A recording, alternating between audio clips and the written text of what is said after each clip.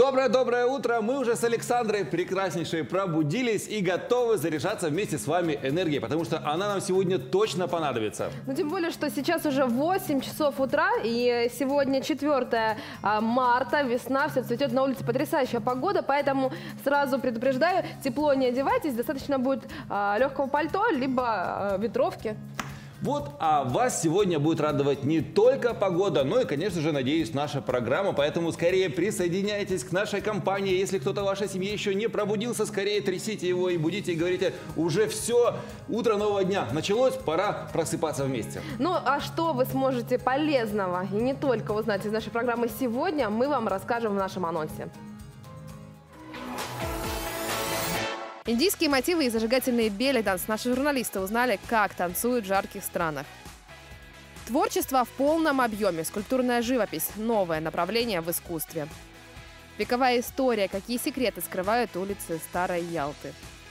Медицинская помощь, какие поправки предложили внести в Конституцию в сфере здравоохранения, расскажет гость в студии. Прямые включения из Евпатории, Ялты, Керчи и Симферополя. Самые актуальные новости полуострова глазами корреспондентов телеканалов «Крым-24» и «Первый Крымский». Все это и многое другое в эфире информационно-развлекательного шоу «Утро нового дня».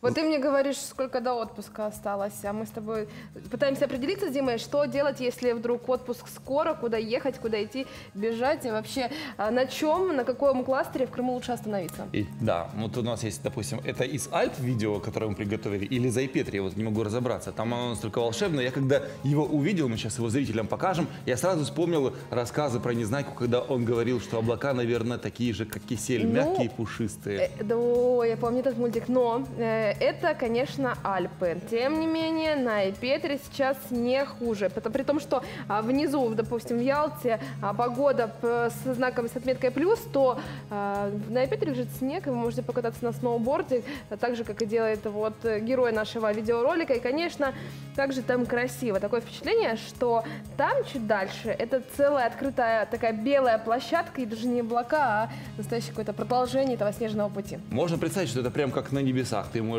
плыть, плыть, плыть, а тебе будут встречать новые как-то это резкие повороты, виражи. Ну и, конечно же, наслаждаться этими мгновениями. За это, конечно же, и прекрасен Крым, потому что вы можете приехать сюда и, допустим, в Симферополе или даже в Ялте насладиться летом проехать немножко дальше и уже погрузиться в некую зиму.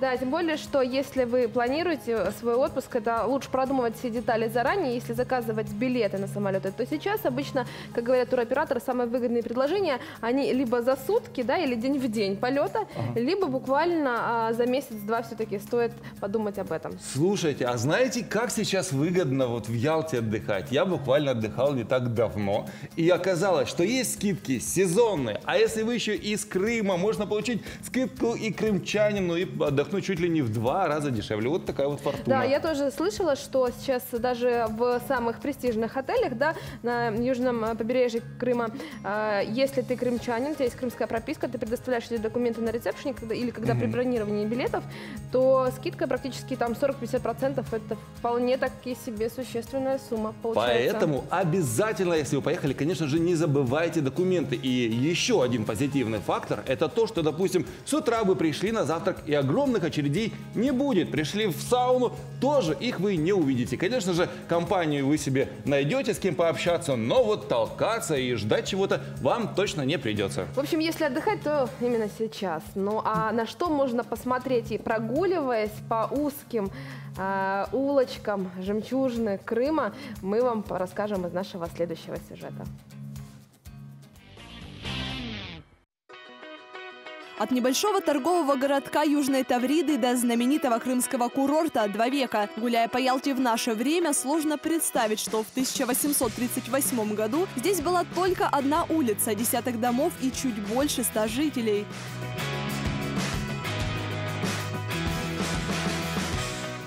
Из многих тысяч людей, живших на этой земле, отпечаток в истории оставили единицы. Среди них и дворянский род Мордвиновых. Сначала граф Николай Семенович, затем его правнук Александр Александрович. Проверим, знают ли ялтинцы основателей города. Вот Мордвинов не, знаю. не знаю. Ну, не такое знакомое лицо. А не при да? царе он был? Мордвинов. Писатель. Мордвинов. Фамилия очень такая даже знакомая, а не помню. Тоже принимал участие в строительстве нашего города.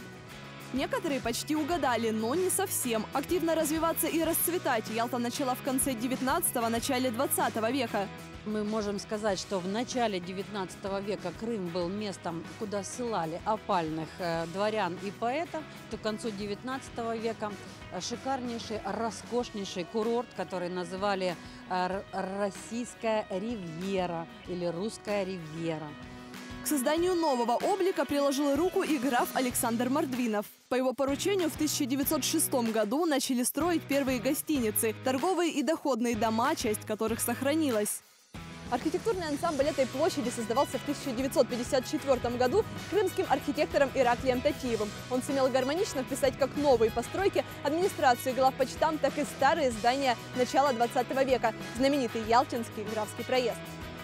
В наше время от былого графского проезда неизменным осталось только название. Доходный дом превратился в гостиницу, торговые ряды в современные магазины. Архитектурный комплекс, созданный в стиле неоренессанс по проекту Николая Краснова, пострадал во время гражданской войны и был перестроен. Тут же за углом арка, ведущая во внутренний двор графских имений. Здесь был обыкновенный хозяйственный двор, э, где разгружались телеги, разгружались э, товары.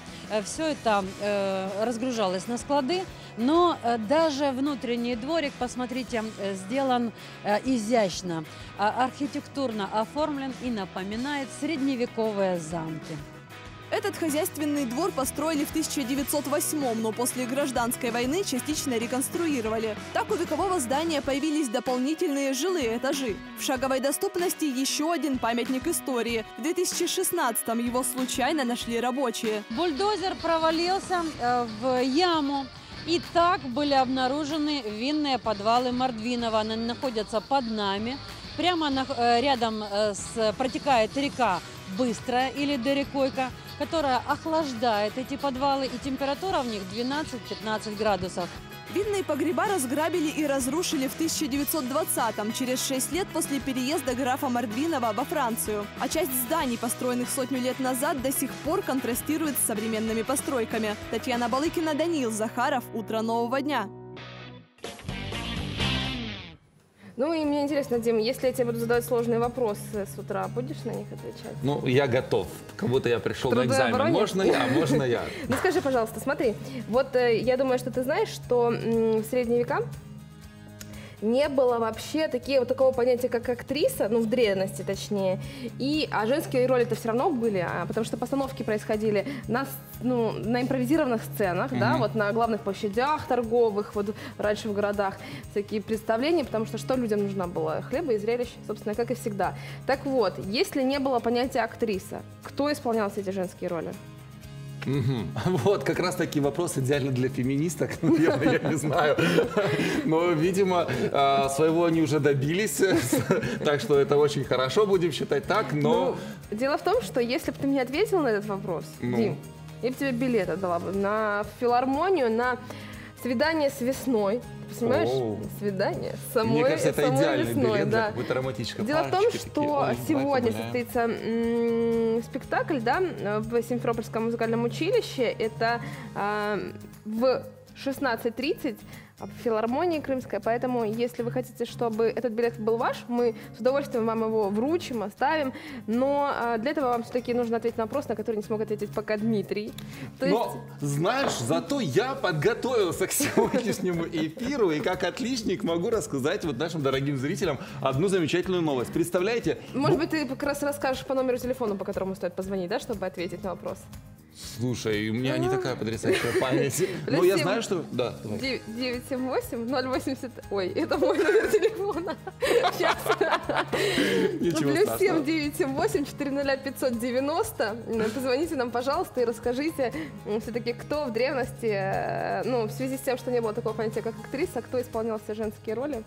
Э, И мы вам с удовольствием вручим билет э, в филармонию.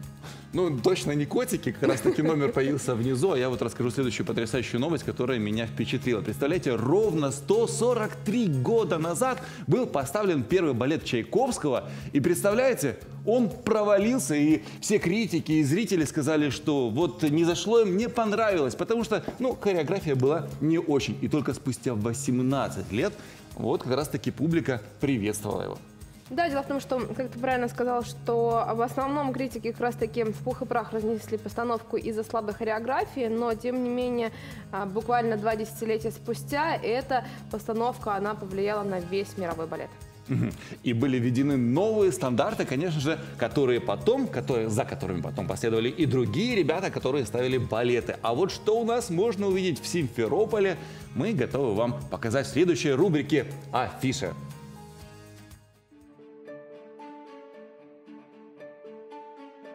Азм есим тварь. Изящный, психологический и пластичный спектакль. Через тайны, мистификации и откровения он рассказывает о сути человеческого бытия. В этом спектакле нет четкой границы между сценой и зрительным залом. Актеры оказываются один на один со зрителем, который слышит их дыхание, внимает каждому звуку и жесту. Хороший, плохой и жертва – это не характеристики личности, а имена главных героев. По сути, хороший ничем не отличается от плохого. Грехи плохого, транслируемые жертвой, помогают хорошему разобраться в своих и раскаяться. В большинстве случаев хороший, говоря о плохом, говорит о себе. Спектакль поднимает проблемы, знакомые каждому, держит в напряжении с самого начала и до финальных строк. История мюзикла «Собор Парижской Богоматери» довольно близка к оригинальной сюжетной линии романа Гюго. Юная девушка-цыганка Эсмеральда своей красотой привлекает к себе внимание мужчин. Среди них архидиакон Фрола, молодой красавец капитан королевских стрелков Феб и уродливый звонарь Квазимода. Эсмеральда влюбляется в Феба. Фрола терзается сомнениями, ведь он католический священник и не имеет права любить женщину. Квазимода восхищается юной цыганкой. Из-за ревности архидиакона цыганка оказывается в тюрьме. Ее обвиняют в убийстве Феба. Фрола дает девушке шанс освободиться, если она подарит ему миг блаженства. Но Эсмеральда отказывается. Ее спасают народ и Квазимода, однако ненадолго. Эта старинная романтическая история произошла в одном сказочном королевстве. Дочь короля, Ермилка, очень любила танцевать. К ней посватался злой колдун, но принцесса отказалась выходить за него замуж. С тех пор она не могла ходить, бегать и тем более танцевать, а только прыгала. На помощь прекрасной Ермилке отправляется благородный принц Иржи. Чем закончилась эта история, узнаете в спектакле «Прыгающая принцесса». «Мост над рекой» — это музыкальная лирическая история, которая повествует о жизни советского казачества в непростое время, о человеческих отношениях, в которых только сама любовь и расставляет все на свои места, помогая преодолеть невозможное. Этот масштабный мюзикл отвечает лучшим образцам советских литературного, музыкального и песенного искусства. Дима, может быть, присядем, а то ножки болят стоять. Погнали. Слушай, а у тебя котик есть? Нет, ни котика, ни собаки. И у меня тоже. Но представляешь, сейчас уже можно прислать котика по почте. Причем это сделать совсем необычным Сажайся образом. У нас в России, значит, появился необычный способ. Ну как способ отправить Так. котика? По почте. Котика. Да. В смысле? Ну, я, конечно же, утрирую ради интриги, но вот появились такие марки. А, Там есть четыре вида котиков, четыре породы. Ну, понятно, сфинксы там, есть более пушистые, похожие чем-то на, на сиамских котов.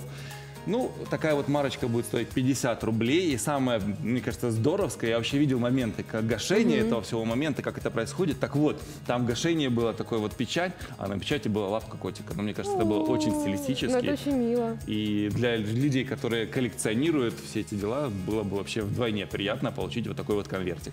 Но если ты уже заговорил о котиках, то еще смотрю на себя и думаю, «М, а может быть посмотрим на одного рыжего котика? И ну-ка. это я не про тебя. Ну так меня называет только Ну, жена. мы- ух ты, боже мой. Кстати, да, Дима у нас женился, с чем мы его э, торжественно и поздравляем, потому что теперь он у нас прям взрослый. Взрослый котик.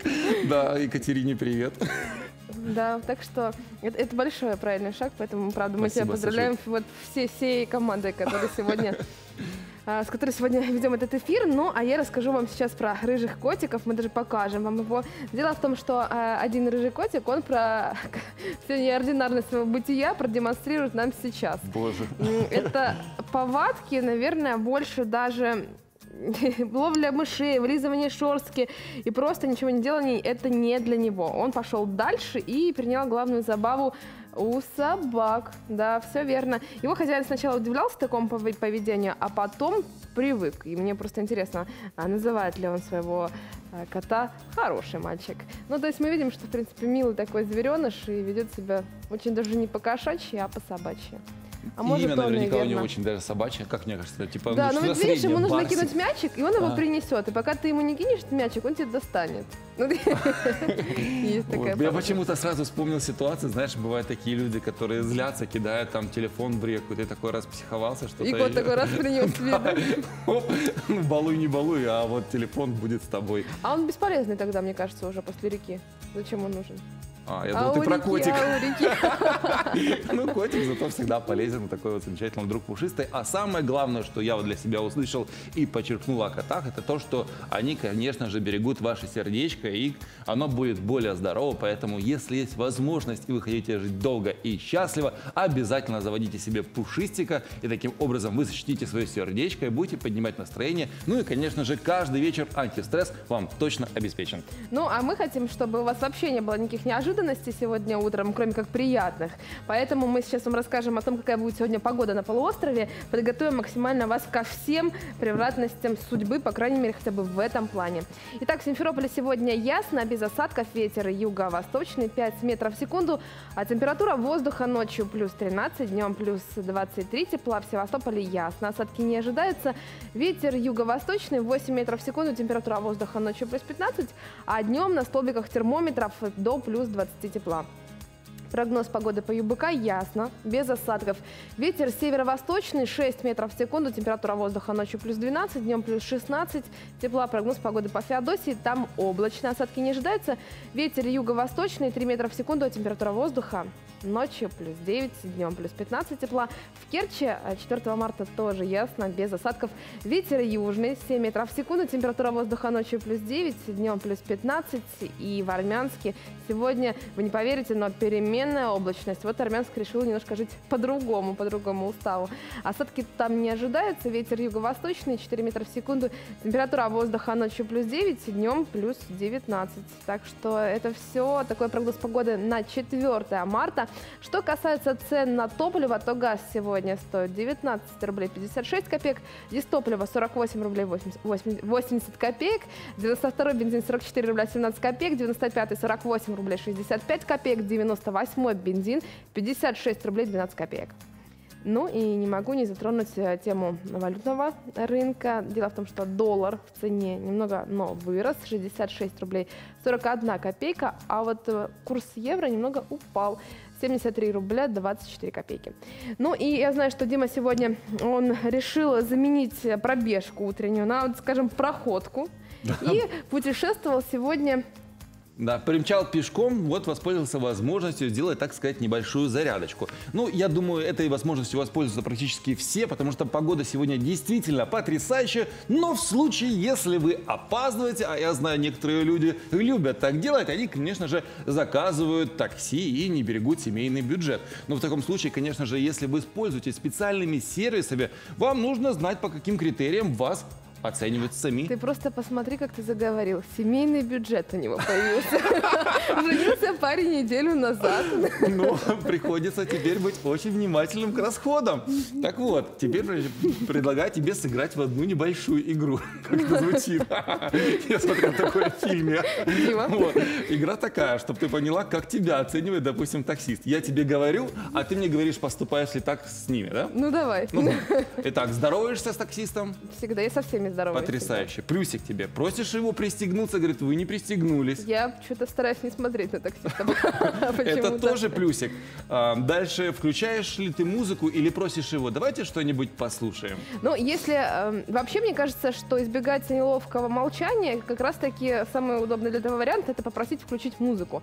Но если она совершенно не соответствует твоим музыкальным вкусам, тогда все гораздо сложнее, уже просишь, сделать слегка потише. Ну да, ты включаешь белые розы. Ты знаешь, против белых роз я уже ничего не имею против. шипы. Ну, в общем, на самом деле водители почему-то не любят, когда их пассажир, ну, чаще всего просит включить музыку. Даже если они слушают что-нибудь типа «Гоп, стоп, ты подошла». И у них своя, короче, получается, играет пластинка, но Дима так охарактеризовал, по-моему, весь российский сейчас шансон.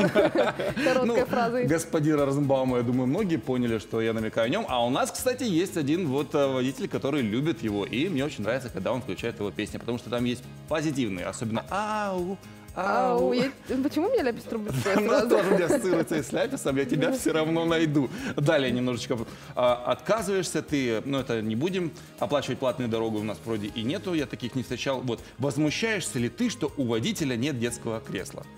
У меня нет детей пока, поэтому, и поэтому вопрос, в принципе, не возникал. Поэтому плюсик А тебе. чужих детей я не перевожу. Никуда и не ввожу. А вот любишь ли ты поболтать с водителем? Нет, я люблю ехать в тишине, потому что я в это время, ну, мне кажется, нужно расслабиться, и расслабиться самый оптимальный способ, если ты не за рулем, это дорога, хотя за Ага. рулем тоже, между прочим, но тут нужно быть внимательной, не, не в черте города. И именно поэтому я люблю, когда все молчат вокруг. А меня удивило, почему-то вот по статистике водители любят чаще, чтобы с ними расспросили, вот поговорили об э, их жизни. А вообще один таксист нам почему-то начал рассказывать о вырубке леса в России и о китайском захвате. Ты знаешь, что категорию таксистов, когда ты приезжаешь, вот допустим, и он рассказывает, да я здесь, сейчас я, у меня здесь мы проезжаем мой этот особняк, и мой Ага. этот особняк, да я просто по кайфу работаю. Ну и тачку взял вот такую вот сегодня стрёмную, чтобы вы не, ну, вы не смущались на моем BMW кататься. Очень скромно. Ну и самый последний момент, наверное, спрошу тебя. Вот э, доводилось ли тебе оставлять им чаевые? Ну всегда так делаю. Ну, думаю, таким образом, даже если были какие-то нюансы, хорошие чаевые могут исправить ваш любой нюанс, или, допустим, если ему что-то не понравилось, или даже если водителю пришлось подождать вас. Ну, а вот я надеюсь, и следующая рубрика вас точно порадует, и как раз-таки вы будете в расположении духа, если понадобится садиться в такси, и, конечно же, порадуйте хорошими чаевыми своего водителя. Поэтому заряжайтесь позитивной энергией благодаря следующей нашей рубрике «Хэштег».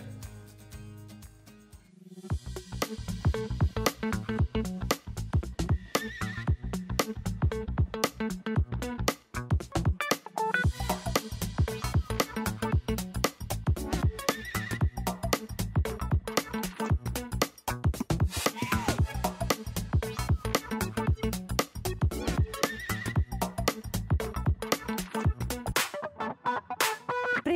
Снова Настя. Предлагаю отлично провести время вместе. Женщина, недавно ответившая согласием на предложение руки и сердца, конечно же, захотела похвастаться своим обручальным кольцом. Увы и ах, само украшение привлекло внимание пользователей сети только потому, что оно, похоже, маловато будущей невесте. Впрочем, главной темой обсуждения стало даже не это. И скоро о драгоценном кольце все благополучно забыли, посчитав, что ногти счастливой невесты куда интересней. Люди набросились на женщину с упреками, заявив, что даже если у нее нет денег или времени на маникюр, она могла хотя бы почистить их. Остается надеяться, что до свадьбы героини еще много времени, и она успеет привести руки в порядок. Руки мыть, руки мыть нужно каждый день. 78 дней в бочке на столбе. Отваге и выносливости Вернона Крюгера можно только позавидовать.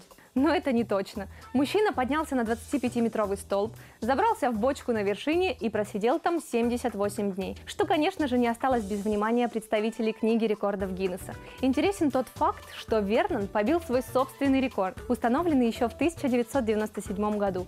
Тогда он провел в бочке 67 дней. Мужчина рассказал, что на сей раз это было его последнее достижение, и больше на столб он не полезет. Причем он нарочно пересидел там на целых 11 дней дольше, чем в прошлый раз. Ведь так следующему смельчаку будет куда сложнее его переплюнуть. Хм, вызов это или нет? Когда мы выходим в город, двоечники разбегаются, а отличники, их мы обязательно найдем. Где находится предплечье? Покажешь? Предплечье? Какое мне так и У меня? Ну и у вас, у меня. Ну вот тут, наверное. Саш, вытяни руку. Предплечье. Предплечье, по-моему, находится у нас вот здесь, так Мгм. как я объясняю детям и говорю всегда, что вот у нас запястье, кисть, э, предплечье, да, вот в этой области получается. Вот локтевой у нас сустав, вот предплечье здесь. А плечевая кость? Между головой и плечом. Э, Это где? Можете показать? Между шеей и плечом. Во- Вот Вы же здесь? знаете, где ваша шея? Спасибо. Интересно, что? Плечевая кость, предплечье. По-моему, так. А, а вот это что? Вот это, вот это у нас э, локтевой сустав, локоть или это предплечье. Вы меня сейчас на самом деле ввели в заблуждение, ай, молодец. вы. Что общего между Пушкиным и бананом? Ну, Пушкин, это же поэт, вы что? И что это же даже спо- э, Тут даже сравнять, э, сравнивать не надо, что общего. Это великий поэт, это э, Россия, это Русь прославляла. Банан это что? Банан это банан. Не знаю.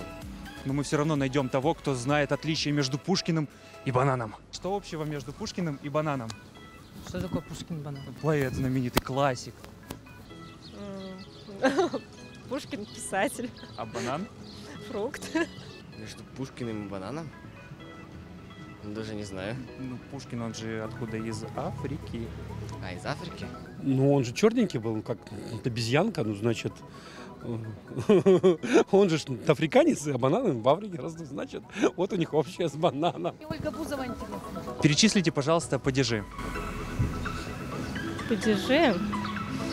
Ну, их много. Именительный, Родительный, творительный. винительный, дательный, предложный. Падежи, именительный, родительный, винительный, дательный, творительный, предложный. Шесть. Правильно, Саш?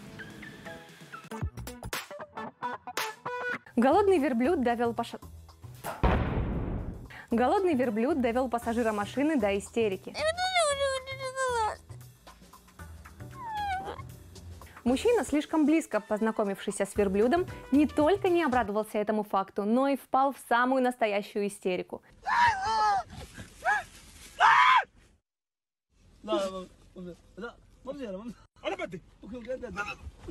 Стоит отметить, что животное жаждало от своего нового друга не столько любви и внимания, сколько угощения. Сунув голову в машину, голодный верблюд принялся активно выпрашивать что-нибудь вкусненькое. Но пассажир, видимо, не слишком симпатизирует животным. Он стал отбиваться, при этом издавая отчаянные вопли. Неудивительно, что многие зрители посчитали видеоролик уморительным, несмотря на все страдания главного героя.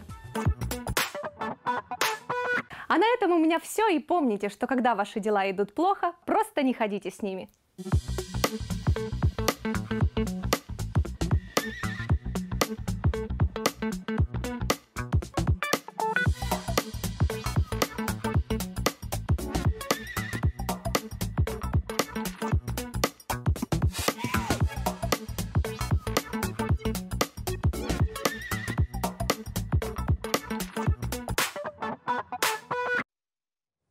Слушай, ну вот этот мальчик, который шоколадка, это просто он сделал мой день на сегодня, это мой кумир.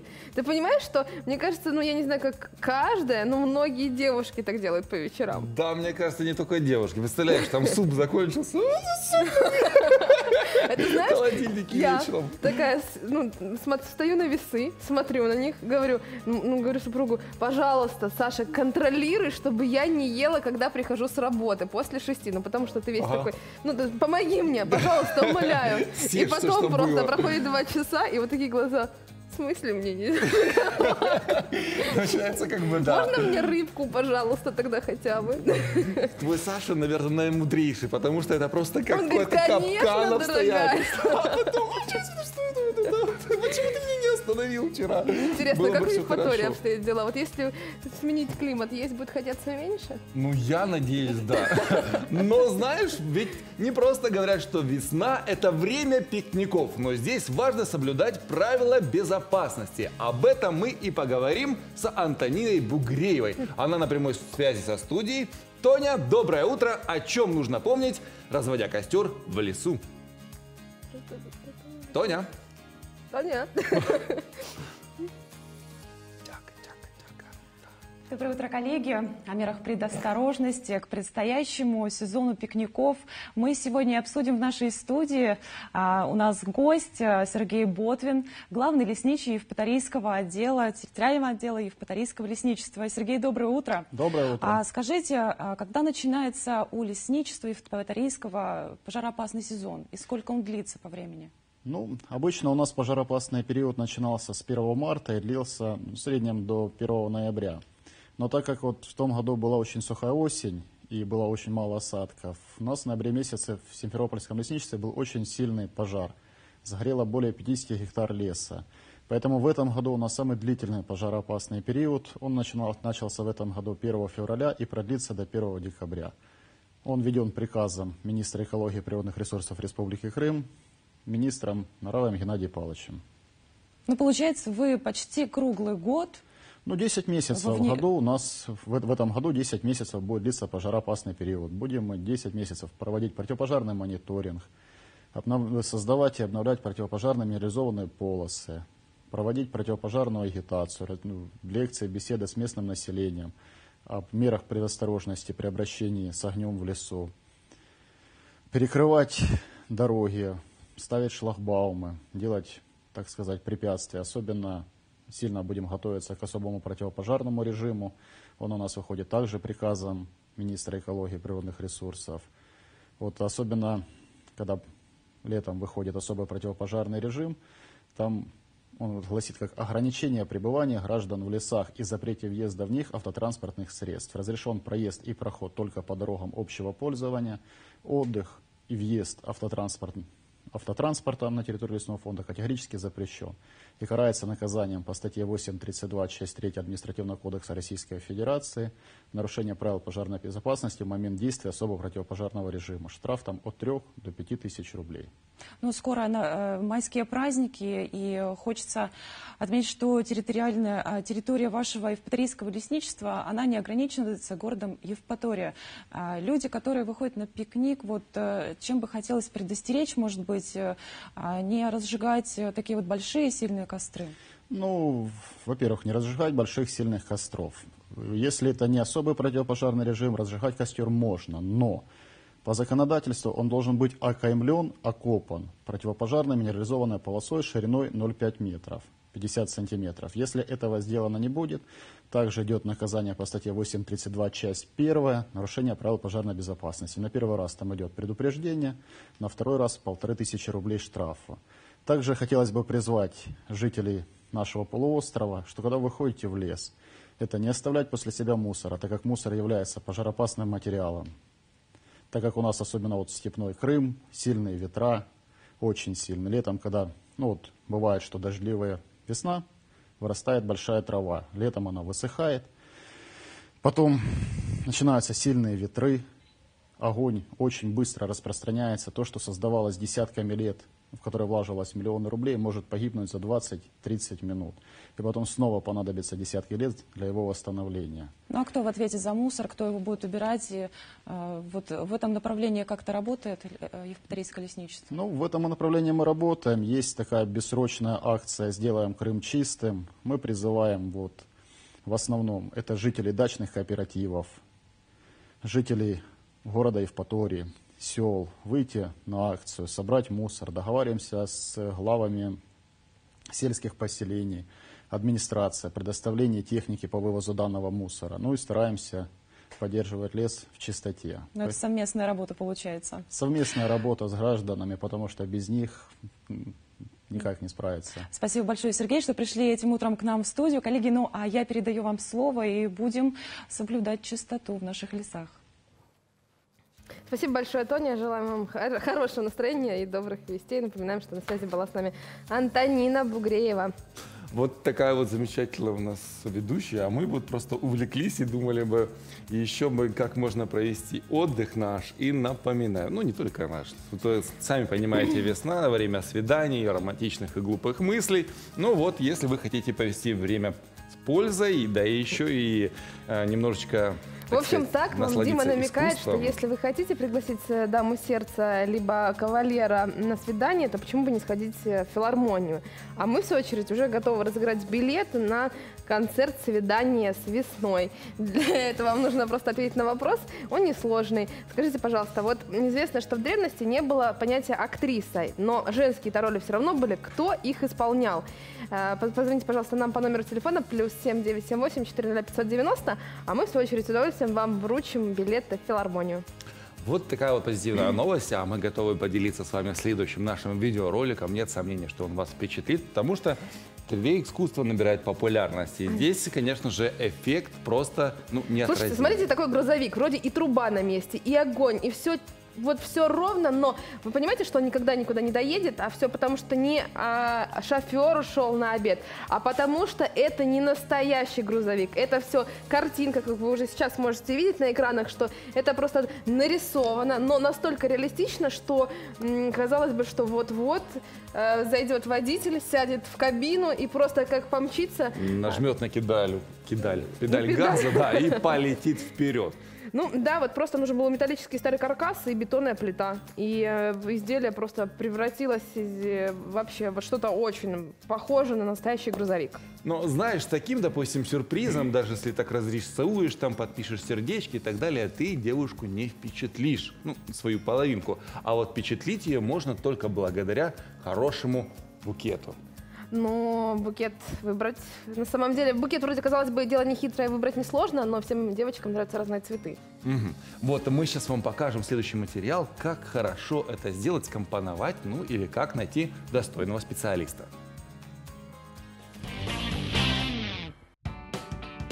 Творчество в объеме – это возможно благодаря скульптурной живописи. Новое направление в искусстве, которое берет начало от барельефов, появилось в России и распространяется по миру. Работы могут быть в виде панно или украшать элементы интерьера, рамки, часы, зеркала. Выглядит впечатляюще, а научиться может любой, даже без художественного опыта. Главное – желание. А поможет нам уже специалист в этом деле. Юлия, но эти цветы, они с виду такие довольно хрупкие и даже вкусные, потому что они похожи на масляные украшения для торта, но я вот так чувствую, что они такие довольно прочные. Расскажите, вот в чем секрет? Они сделаны из э, строительного материала, декоративная штукатурка. Как вы думаете, у нас получится с вами такое сделать? Обязательно. Давайте попробуем. Для лепки нужен мастихин – инструмент для живописи. Им набирают материал и придают ему форму. Мы создаем маки. Мы с горки набираем декоративную штукатурку, делаем основу, и из нее уже получится лепесточек для цветочка.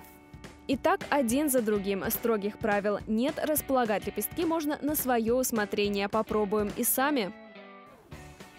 Вот, я думаю, этого листочка будет достаточно, чтобы его положить потихонечку. Это очень волнительно. У нас получилось? Ну, у нас получилось.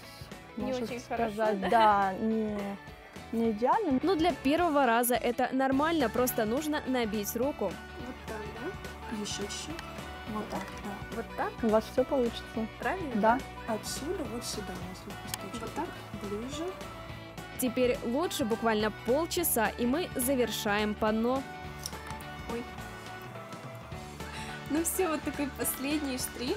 И все готово, результат превзошел ожидания, а процесс затянул с головой. Екатерина Серегина и Влад Мошек. Утро нового дня. Итак, к нашей компании уже присоединились два гостя. Николай Деркач, заместитель министра здравоохранения Крыма, и Анна Рубель, председатель комитета Государственного совета Крыма по вопросам здравоохранения. Конечно же, мы будем говорить, мне кажется, максимально актуальная тема – это поправки в Конституцию. И вот как они затрагивают сейчас тему здравоохранения. Приветствую вас. Ну, я, насколько знаю, может быть, вы меня поправите, что там не так много именно поправок в сфере здравоохранения. Или я ошибаюсь? Ну, общее число поправок, которые сегодня обсуждаются, их более 500, а Да, да, поправки, общее. которые касаются вопросов здравоохранения и которые сейчас уже были рассмотрены и предварительно поддержаны рабочей группой, там их около, ну, до 10. Потому как сфера здравоохранения в основном регулируется федеральными законами, а в Конституции все-таки отражены вот такие незыблемые столпы, что медицинская помощь, она доступна для всех граждан Российской Федерации там, и так далее. То есть мне кажется, что в Конституции на сегодняшний день достаточно отражено, но предложения, которые были внесены Ле- Леонидом Рошалем и сегодня, которые обсуждаются рабочей группой, они тоже имеют место быть. Ну, какие прогнозы вообще? Что изменится, если эти поправки будут приняты? Ну, в принципе, мы рассчитываем, как и Национальная медицинская палата, поддерживаем их полностью предложения. Э, Первое, это, конечно, 72 статья э, Конституции, которая должна расширить вообще понятие само здравоохранения, расширить описание э, самого здравоохранения в Конституции, потому что мы сейчас имеем только 41 статью, которая гарантирует каждому гражданину Российской Федерации право на Медпомощь. медпомощь. Э, Но мы не имеем даже понятия сейчас, законодатель- законодательного понятия да, о, скажем, ответственности гражданина за свое здоровье, о профилактике. А в медицине самое главное профилактика, потому что мы чаще занимаемся уже лечением заболевания, а дешевле для бюджета и для каждого гражданина проще, когда он не лечит заболевание, а когда он его предупреждает. Поэтому профилактика самая тоже одна из э, главных черт, которую надо будет отразить э, в новом законе. И, конечно же, это э, также статьи о местном самоуправлении, 131 132 это расширение полномочий органов местного самоуправления в части здравоохранения. Потому что, к сожалению, у нас именно местное самоуправление, оно во многих субъектах Российской Федерации просто лишено, э, скажем так, ответственности за здравоохранение. И э, здесь возникает очень много проблем. Э, проблемы возникают организационного характера, то есть проблемы в том, что, допустим, э, территория больницы, что-то где-то сломалось, на территории больницы э, та же дорога, надо отремонтировать ту же дорогу, э, подъездные пути, опять же таки, это все полномочия муниципалитета. Не всегда это можно сделать, если э, не иметь полномочий в сфере здравоохранения, то есть возникают технические сложности. Э, Также это... Ну, это бюрократия, да, в первую очередь? Ну, это не Да? то чтобы бюрократия, это, скажем, технические сложности взаимоотношений э, федеральных органов, либо региональных э, субъектовых органов и э, местного самоуправления. То есть, э, и, э, и в то же время многие граждане, да, имея какие-то свои определенные проблемы по здравоохранению, проживая в том или ином населенном пункте, часто идут, обращаются именно в местные органы самоуправления. Не, не в Минздрав э, Республики Крым, если бра- бра- брать республику, да, не в Минздрав Российской Федерации, а чаще всего просто в местное самоуправление. Говорят, помогите. А если, да, а если органы местного самоуправления не имеют полномочий в сфере здравоохранения, соответственно, они э, передают это нам, и э, сам процесс затягивается. Конечно же, если мы расширим э, полномочия органов местного самоуправления в части именно организации здравоохранения, мы у- увеличим доступность медпомощи для каждого жителя, даже самых отдаленных сел уменьшим вот эти вот бюрократические все проволочки и сможем, э, скажем так, любой, даже местный депутат э, местного небольшого уровня сможет участвовать непосредственно в здоровье э, граждан, в организации их э, медицинской помощи. Но важный момент, что если сегодня мы говорим о передаче полномочий, то мы должны передавать и финансовые средства. Потому как э, сегодня уже в 131 федеральном законе закреплено положение о том, что местные органы самоуправления должны создавать условия для э, получения медицинской помощи гражданами, которые проживают ну, на территории Мгм. этого муниципального образования. То есть, проще говоря, например, э, администрация Бахчисарайского района должна создавать условия для того, чтобы ее жители могли получить помощь в медицинском учреждении, например, Бахчисарайской районной больнице. То есть на сегодняшний день эти полномочия есть, но, как показывает практика, когда э, местные органы самоуправления э, должны решить какой-то вопрос, э, возникают споры, и иногда там даже выходят споры на уровень Совет министр- Совета министров для того, чтобы решить элементарный какой-то вопрос. Это Поэтому- споры по незнанию или потому что проще переложить зону ответственности? Ну, э, прямого полномочия у местных органов самоуправления нет. То есть обеспечивать условия – это такое понятие, которое очень оно обширное, очень, да? с одной стороны, широкое и не конкретное. Поэтому э, ну, подъездные пути, да, которые говорил Николай Николаевич, как бы должны делать, э, э, например, асфальтное покрытие на территории районной больницы. Но, с одной стороны, нет, потому что районная больница, она находится в ведении ну, Республики Крым, да, а с другой стороны, а если земля принадлежит муниципальному образованию, тогда, наверное, да. И вот в этом вопросе, как говорил Николай Николаевич, да, есть несостыковки. Поэтому мое глубокое убеждение, что э, я уверена, что эта рабочая группа тоже берет во внимание, что если мы все-таки будем вменять местным органам самоуправления такую прямую норму, то мы должны и обеспечить финансирование.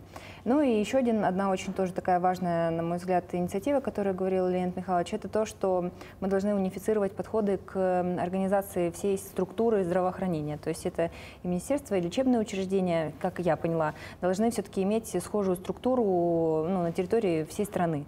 Эм, На сегодняшний день, к сожалению, на официальном пор- портале Государственной Думы, где сегодня размещаются все проекты нормативно-правовых актов, уже есть э, законопроект, который касается непосредственно Конституции, но там на сегодняшний день э, можно ознакомиться уже, то есть в подписанном, согласованном виде в первом чтении, только с теми поправками, о которых президент говорил еще в самом начале. Это изменение полномочий Государственной Думы, изменение полномочий Совета. Федерации. Выше там, власти, да, региона. Да, то есть это э, ну, то, о чем он, вот он говорил в своем послании, это уже нашло свое отражение, мы можем это почитать. А все остальные поправки, о которых мы сегодня говорим и которые часто появляются в СМИ, э, их на сегодняшний день нет на бумаге. Поэтому э, в скором времени, я думаю, что они поступят в Государственную Думу, и мы уже сможем более предметно оценить эти изменения здесь на уровне региона.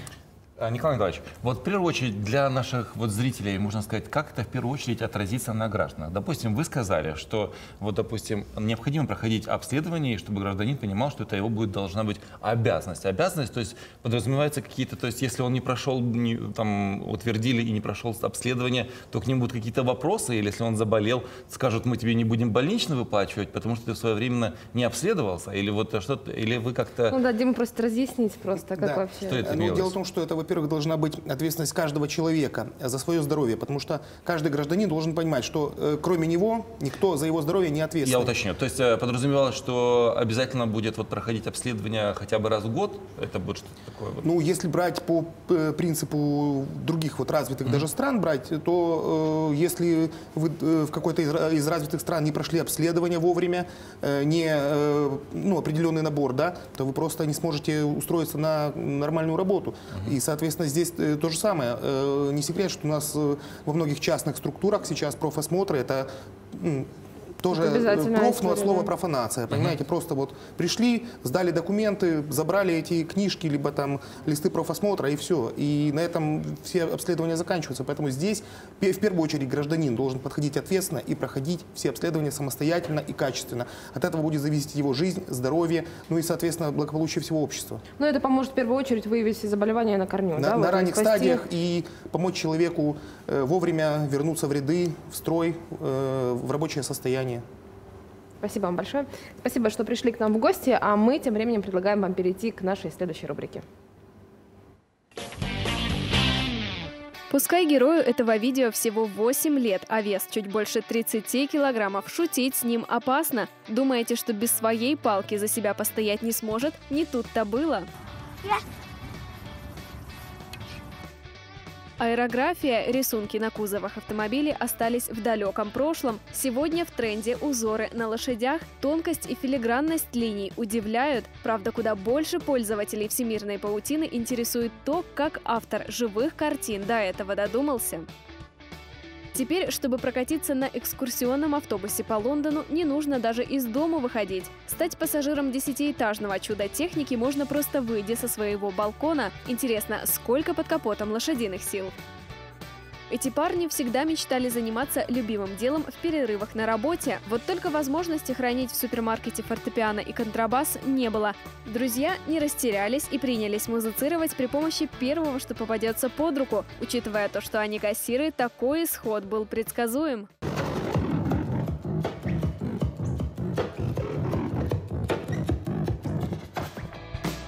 Нет, этот парень не голоден, пытаясь понять, зачем он засунул в рот лист бумаги, можно потратить уйму времени, а догадаться так и не выйдет. Как оказалось, таким способом молодой человек делает оригами. Полет на параплане далеко не самое обычное занятие, запомнится такое надолго. А герои этого видео и того больше вряд ли смогут забыть. Наверняка немногим удавалось примкнуть к утиной стае, погладить птиц во время головокружительного полета. Ну, а моему соведущему не хватило эфирного времени пообщаться с нашими гостями, поэтому он сейчас готовит уже прямо сейчас для вас а, репортаж и следующий сюжет, и поэтому сейчас он буквально запишет небольшой комментарий, снова к нам вернется, но, а я тем временем уже готова пообщаться с, а, у нас есть звонок в студию и с дозвонившимся нам сегодня. Доброе утро. Алло. Алло, да. Здравствуйте. Скажите, пожалуйста, вы знаете ответ на вопрос? Я сейчас его еще раз озвучу. А, В древности не было понятия актрис, но тем не менее были а, женские роли. Кто их выполнял? Исполнял, точнее. Роли исполняли мужчины. Ну и вы абсолютно правы. Скажите, пожалуйста, как вас зовут? Как зовут сегодня нашу победительницу? Людмила меня зовут.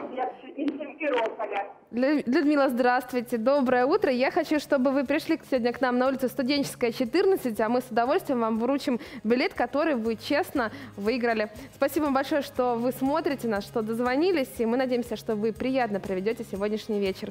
Это, кстати, пригласительный билет на а, четвертый ряд и сразу на две персоны, поэтому можете продумать или подружку, или супруга, а, или, э, может быть, э, и кого-то из детей пригласить вместе с собой посетить концерт. Но тем временем я уже хочу вам показать такие новости. Ну, а что говорить? Давайте посмотрим. Э, Little... Дело в том, что сейчас на всех интернет-ресурсах во всех социальных сетях обсуждают э, тех ребят, ту команду, которая представит Россию на Евровидении. Дело в том, что на Евровидении 2020 выступит команда Little Big, и мы вам обещаем, вы будете удивлены. Вот с таким лозунгом а, заявились ребята на это шоу. В принципе, шоу уже не столько музыкальное, сколько, наверное, это эффектное, именно постановочное, поэтому ребята готовят что-то совершенно особенное. Они говорят, что их песня будет невероятно веселой и попросили ни в коем случае не беспокоиться за хореографию. Но а, на самом деле дело в том, что песня, с которой выступят музыканты, а ее объявят уже в ближайшее время, и срок окончания подачи заявок, он а, 9 марта. Поэтому а, полуфиналы Евровидения, напомню, что пройдут в Роттердаме 12-14 мая, финал пройдет 16 числа. Но а тем временем у нас уже на связи есть наш мобильный корреспондент, и мы готовы с ним пообщаться как раз таки и узнаем, как сейчас, спустя час, изменилась погода а, в Симферополе. Алло. Эй. Доброе утро, и Дима. Вы наверняка видите, как я жмурюсь от теплого весеннего солнышка. Погода сегодня просто потрясающая. Я надела легкое пальто и вышла с утра из дома в таком потрясающем уже сразу же настроении, потому что на улице действительно очень по-весеннему тепло. Сегодня температура воздуха прогреется до плюс 23 градусов, и тепло будет в течение всей недели. Это, конечно, просто очень крутая новость, поэтому хватайте кофе обязательно с собой в дорогу и наслаждайтесь просто этими весенними лучиками солнца. Потому что на самом деле после наших холодов, после ветра, после дождя очень-очень приятно ощущать все вот это вот тепло и солнышко. И даже ничего страшного, что жмуримся, просто захватите с собой очки, это тоже не помешает. Вот видите, даже некоторые жители Симферополя прям в шортах и, и вообще легких рубашках, поэтому на улице действительно очень тепло.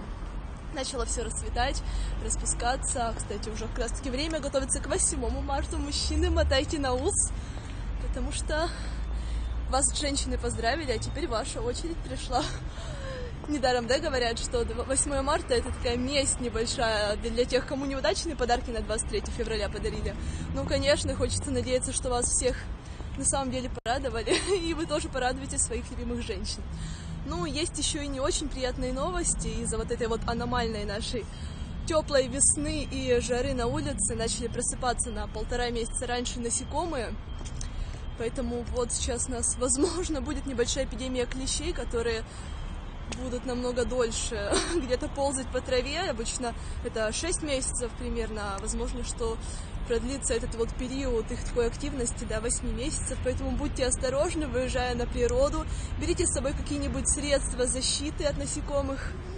И все будет здорово. Я вам желаю бодрого, доброго утра.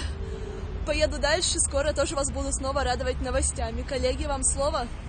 Но я сразу готова вас уже немножко успокоить. Никакой эпидемии клещей не будет. Просто их популя- популяция немножко увеличится в связи с тем, что была очень теплая зима.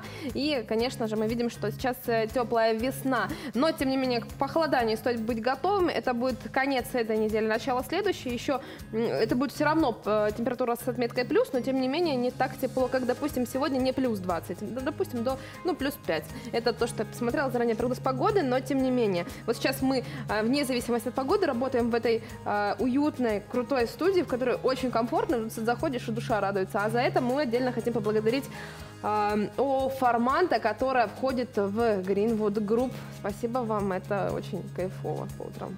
Вот так вот. Представляешь, Саша, я только что у меня была возможность пообщаться с заместителем министра здравоохранения, в общем, Николаем Николаевичем, И который был у нас и в за гостях. кадром, да? И за кадром, да. Вот э, сегодня предстоит снимать сюжет о том, что у нас в Крыму а, вот э, ми- учреждения здравоохранения на некоторых больницах, на их территориях появятся площадки для вертолетов, и таким образом а, будет, получается, у нас э, такая вот авиация. и может Санавиация, санавиация, да, называется, да, А, И таким образом люди, которые требуют вот скорейшей помощи скорой, они вот будут ее получать еще быстрее. Так что, когда этот процесс абсолютно будет налажен, когда все будет построено, вот сегодня к э, вечернему, может, эфиру мы постараемся узнать и, конечно же, Так что сказать. смотрите Крым-24, первый крымский, не переключайтесь. Так, во-первых, вы будете знать всю оперативную обстановку, и эта информация действительно полезная. Но тем временем мы уже готовы показать вам а, новый ролик. Мгм. А, Дело в том, что всех пропустил, он называется, а своей очереди а, не дождался. Сделал задуманное в 21 веке, и животные даже грамотные. Возможно, олени потому не находятся под угрозой вымирания, что проходят а, ко всему с присущей им предусмотрительностью и даже ответственностью, даже к правилам дорожного движения. Говорят, что на этом переходе можно заставить и целые, застать целые оленьи семейства. Но дело в том, что нередко они передвигаются именно стаи, поэтому неудивительно. Интересно, почему именно здесь они так любят гулять. Может быть, рядом лес и просто... эм, слушайте, И, ну, как скорее часто, всего, не чувствует себя в рогатый- безопасности. И знаешь, если бы я верил в теорию эволюции, я подумал, что как раз-таки, как минимум, планета не обезьян, а полен, по- полена, планета оленей вот уже у нас будет не за горами. Тем более, смотри, вначале и Ой, ну дорогу это- они переходят, а скоро еще и начнут э, и всяким искусством интересоваться, науками. Вот скоро, может, в танцы себя посвятят. Представляешь, танцующих оленей. Ну, это как станцуешь. А вообще, как можно станцевать, может рассказать вам Наталья Жадько. Давайте сейчас посмотрим ее сюжет об этом.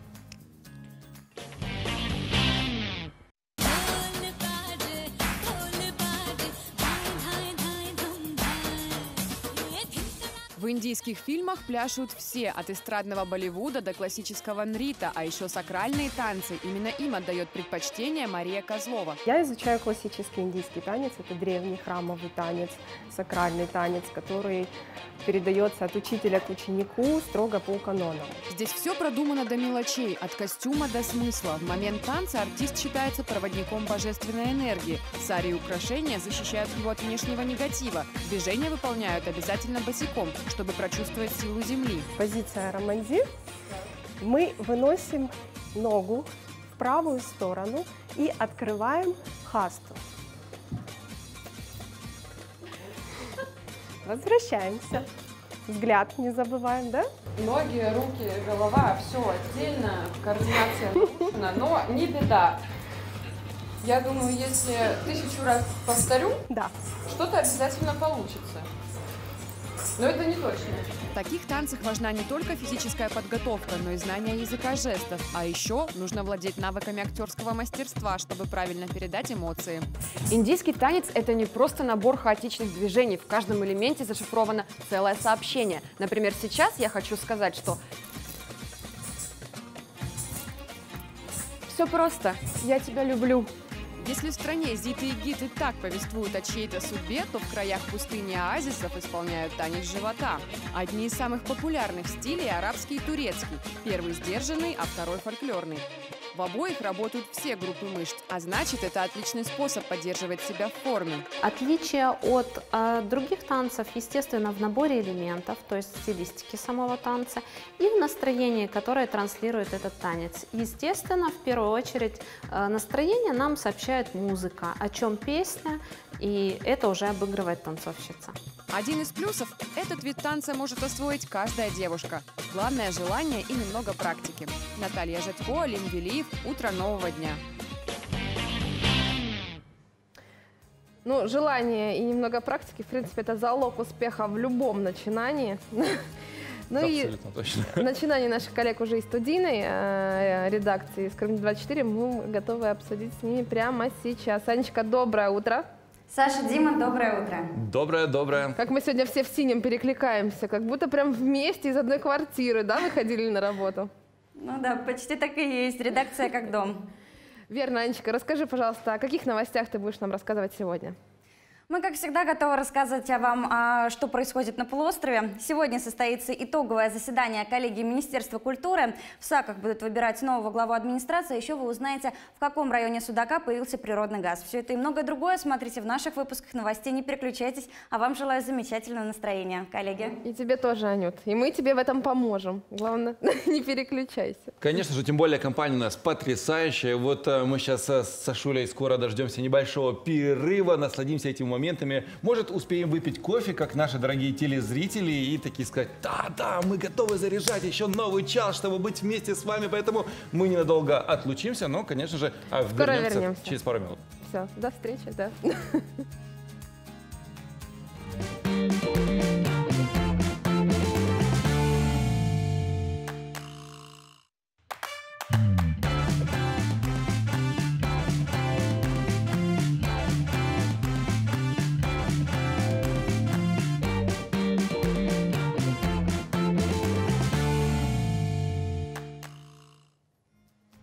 Доброе-доброе утро. Нас в часах уже 9.12, и мы с вами уже второй час готовы провести его вместе. Вот э, вы у кранах, мы здесь, но мы все дружная семья. Ну, Дима Попов, Александр Карнович, доброе утро еще раз. Это программа «Утро нового дня», которая выходит в прямом эфире на телеканалах «Первый», «Крымский», «Крым-24» с 8 до 10, поэтому а, мы уже не первый час рассказываем вам а, интересные новости и продолжим это делать. Ну, а что конкретно, можете узнать из нашего анонса. Индийские мотивы и зажигательные белли-данс наши журналисты узнали, как танцуют в жарких странах. Творчество в полном объеме, скульптурная живопись, новое направление в искусстве. Вековая история, какие секреты скрывают улицы Старой Ялты. Медицинская помощь, какие поправки предложили внести в Конституцию в сфере здравоохранения, расскажет гость в студии.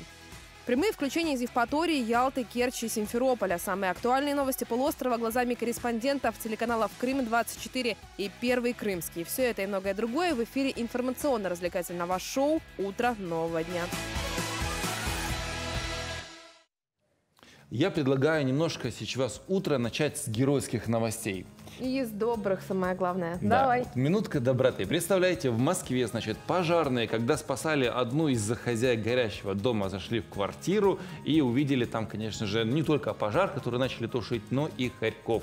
Они не растерялись и а, начали их, думали, что придется половить, потому что это такие довольно дикие животные, но вот они словно почувствовали, что пришли их спасители и, в общем, прибежали к ним и начали, в общем, Ну, да, И как рассказывает э, Михаил Солдатов, это начальник караула 52-й пожарно-спасательной части, а, он говорит, что а, хорьки абсолютно спокойно пошли спасателям на руки, и такое ощущение было, что они вообще абсолютно уверенно а, были в том, что их спасут, и ждали этого. В такие моменты я вот очередной раз убеждаюсь, что животные действительно могут чувствовать сердце человека. И после того уже, как все завершилось и пожар был потушен, никто не пострадал, и доблестные пожарные налили водицы в емкости и, конечно же, угостили малышей, которые с удовольствием компенсировали влагу в своем организме. Ну, слушайте, есть еще одна новость. У нас не так давно запустилась одна очень клевая рубрика. И мы хотим, чтобы вы с ней ознакомились прямо сейчас. Ее делают а, три молодых, озорных, э, юных и амбициозных человека. И я предлагаю, ну что говорить, давайте посмотрим. Привет, с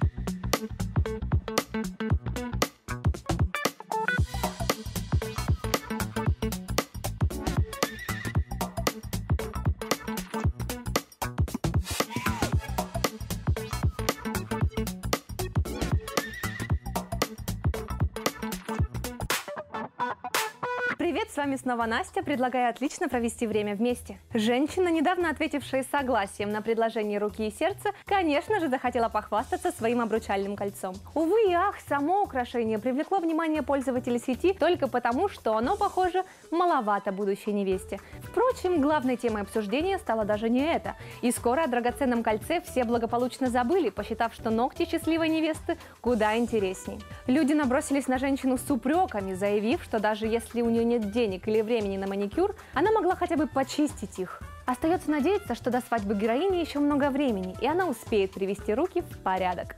Руки мыть, руки мыть нужно каждый день.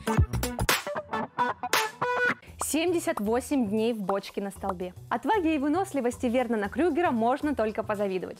Но это не точно. Мужчина поднялся на 25-метровый столб, забрался в бочку на вершине и просидел там 78 дней. Что, конечно же, не осталось без внимания представителей книги рекордов Гиннесса. Интересен тот факт, что Вернон побил свой собственный рекорд, установленный еще в 1997 году.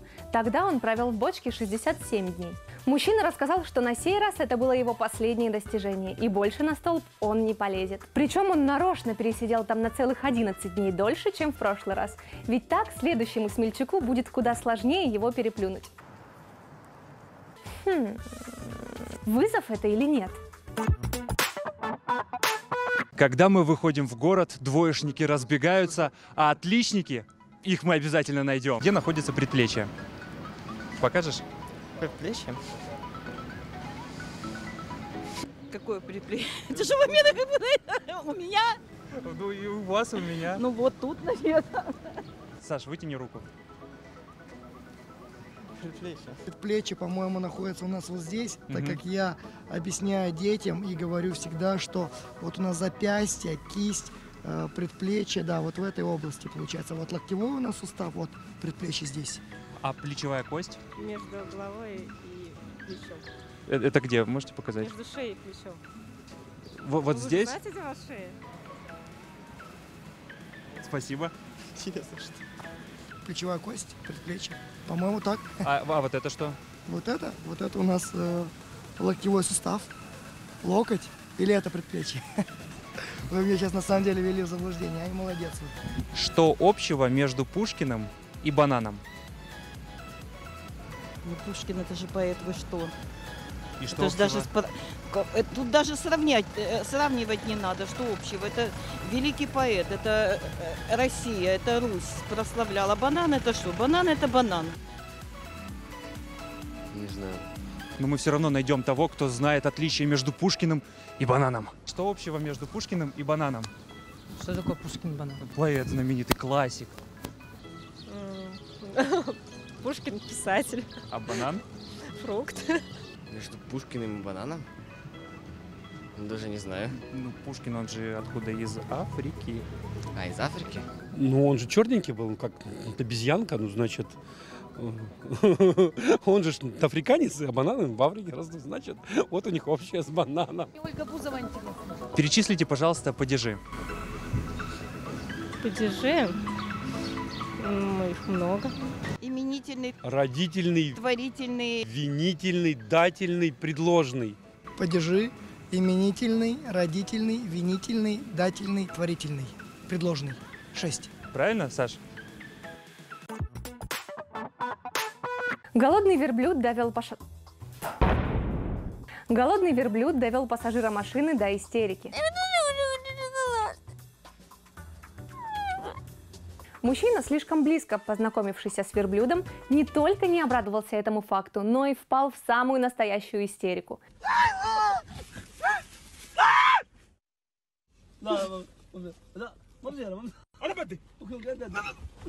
Стоит отметить, что животное жаждало от своего нового друга не столько любви и внимания, сколько угощения. Сунув голову в машину, голодный верблюд принялся активно выпрашивать что-нибудь вкусненькое. Но пассажир, видимо, не слишком симпатизирует животным. Он стал отбиваться, при этом издавая отчаянные вопли. Неудивительно, что многие зрители посчитали видеоролик уморительным, несмотря на все страдания главного героя.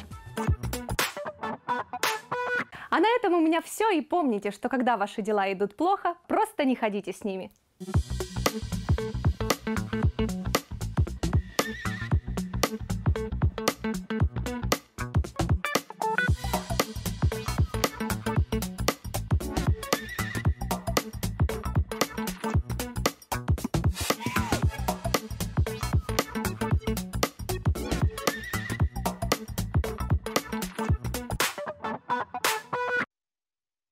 Железяка балдежная просто на этой программе. Хэштег мы только подстанцовывали. Самое время делать утреннюю зарядку и связываться с нашими Коллегами с родийной студии «Доброе утро». Мы должны остановиться здесь. С нашими коллегами с телевидения программа «Утро нового дня» нас ждет. Смотрите, доброе утро, Приветики. друзья. Да. Доброе утро. доброчка, дорогие. Как ваши Смотрим, дела? может, у нас неплохо, мы, конечно, еще не подтанцовываем, как бы, но у нас, видите, большая, большая компания здесь сегодня. У нас представители Министерства транспорта Республики Крым и компании Крым Автотранс. Обсуждаем важные вещи, связанные с междугородними перевозками. А ну-ка поведайте, в чем же, что у вас там инфоповод? Что такое А, важное? ну, да? информационный повод, то, что проведено очередное, как называется, рейдовое мероприятие, во время которого выявлено более 200 нарушений, которые связаны остановка, остановок автобусов в неположенных местах, подсадка пассажиров без билетников. А, Что с этим делать, как с этим бороться и когда, наконец, э, на междугородние автобусные перевозки придут современные технологии э, оплаты с помощью электронных карт?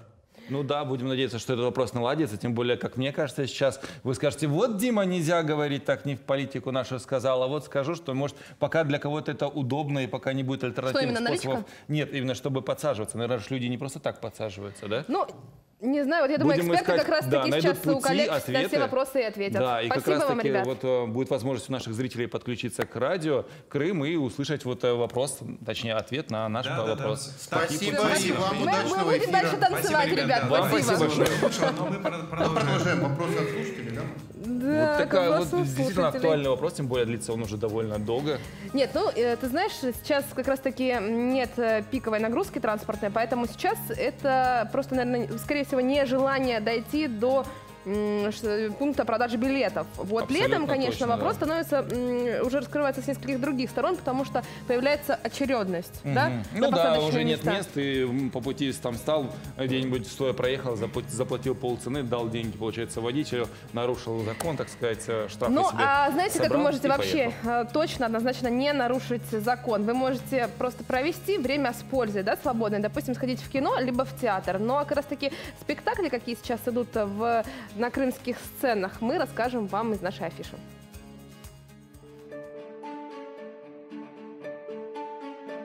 Азм есим тварь. Изящный, психологический и пластичный спектакль. Через тайны, мистификации и откровения он рассказывает о сути человеческого бытия. В этом спектакле нет четкой границы между сценой и зрительным залом. Актеры оказываются один на один со зрителем, который слышит их дыхание, внимает каждому звуку и жесту. Хороший, плохой и жертва – это не характеристики личности, а имена главных героев. По сути, хороший ничем не отличается от плохого. Грехи плохого, транслируемые жертвой, помогают хорошему разобраться в своих и раскаяться. В большинстве случаев хороший, говоря о плохом, говорит о себе. Спектакль поднимает проблемы, знакомые каждому, держит в напряжении с самого начала и до финальных строк. История мюзикла «Собор Парижской Богоматери» довольно близка к оригинальной сюжетной линии романа Гюго. Юная девушка-цыганка Эсмеральда своей красотой привлекает к себе внимание мужчин. Среди них архидиакон Фрола, молодой красавец капитан королевских стрелков Феб и уродливый звонарь Квазимода. Эсмеральда влюбляется в Феба. Фрола терзается сомнениями, ведь он католический священник и не имеет права любить женщину. Квазимода восхищается юной цыганкой. Из-за ревности архидиакона цыганка оказывается в тюрьме. Ее обвиняют в убийстве Феба. Фрола дает девушке шанс освободиться, если она подарит ему миг блаженства. Но Эсмеральда отказывается. Ее спасают народ и Квазимода, однако ненадолго. Эта старинная романтическая история произошла в одном сказочном королевстве. Дочь короля, Ермилка, очень любила танцевать. К ней посватался злой колдун, но принцесса отказалась выходить за него замуж. С тех пор она не могла ходить, бегать и тем более танцевать, а только прыгала. На помощь прекрасной Ермилке отправляется благородный принц Иржи. Чем закончилась эта история, узнаете в спектакле «Прыгающая принцесса». «Мост над рекой» — это музыкальная лирическая история, которая повествует о жизни советского казачества в непростое время, о человеческих отношениях, в которых только сама любовь и расставляет все на свои места, помогая преодолеть невозможное. Этот масштабный мюзикл отвечает лучшим образцам советских литературного, музыкального и песенного искусства. Но я напоминаю, что сегодня среда, 4 марта, но если вы уже задумываетесь о том, как провести выходные и куда отправиться а, в пятницу, то мы предлагаем вам сделать небольшое путешествие на ЮБК, а конкретно в Ялту. Почему, расскажет Татьяна Балыкина. От небольшого торгового городка Южной Тавриды до знаменитого крымского курорта два века. Гуляя по Ялте в наше время, сложно представить, что в 1838 году здесь была только одна улица, десяток домов и чуть больше ста жителей.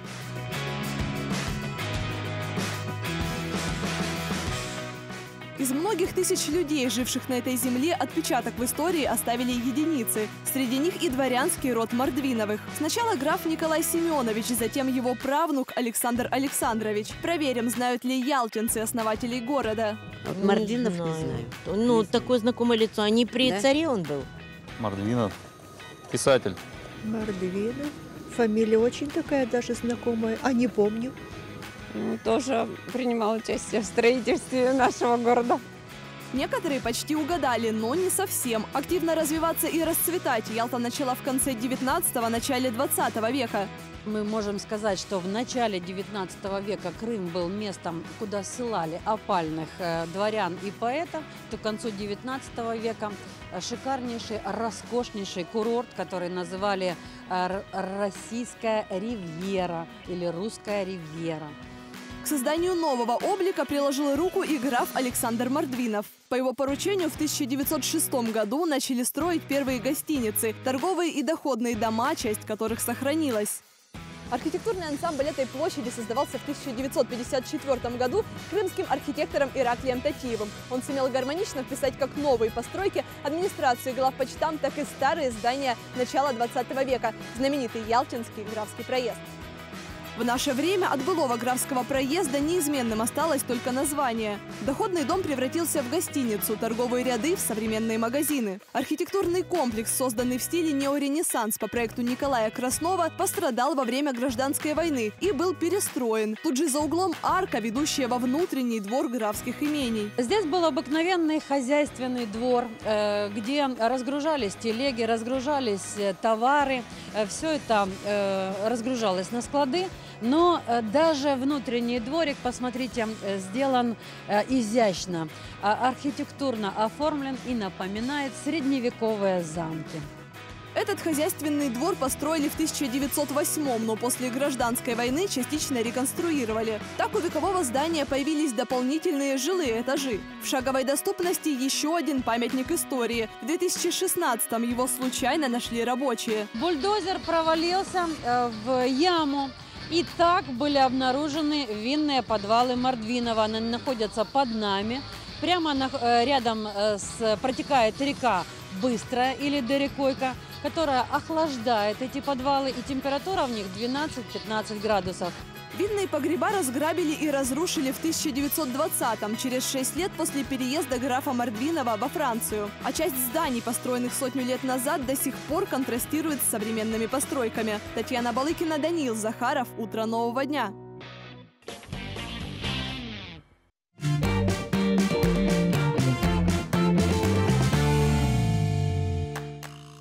А сейчас у нас минутка лайфхака. В общем, а- в Америке, в США, в Штатах есть такая тема. Часто бывает водитель оставляет свое авто, а в нем разные инструменты. Разумеется, воришек там хватает, и, в общем, одна автоледи придумала небольшой лайфхак о том, как их отпугать.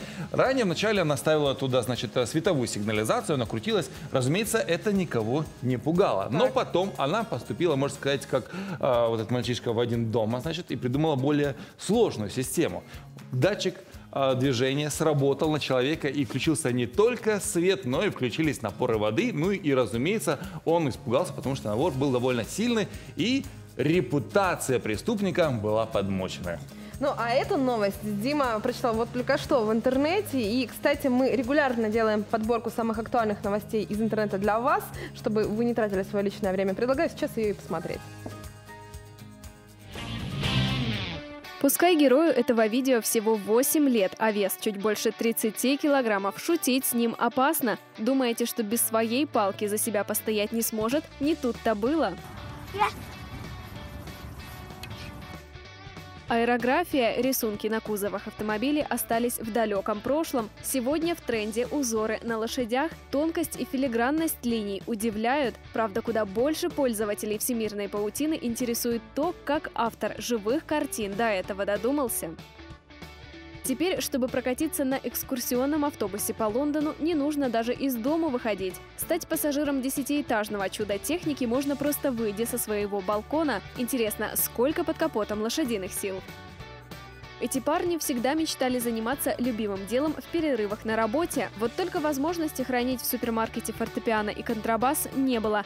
Друзья не растерялись и принялись музицировать при помощи первого, что попадется под руку. Учитывая то, что они кассиры, такой исход был предсказуем.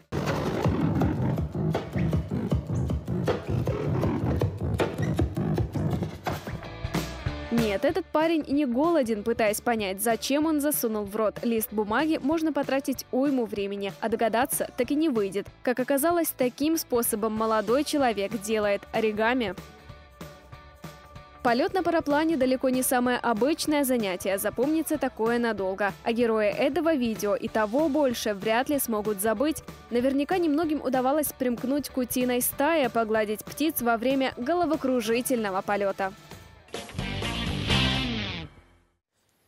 А у нас позитивные новости, потому что наша компания пополнилась. К нам присоединилась Елена Кравчук, сотрудница ботанического сада. Приветствую вас. Здравствуйте.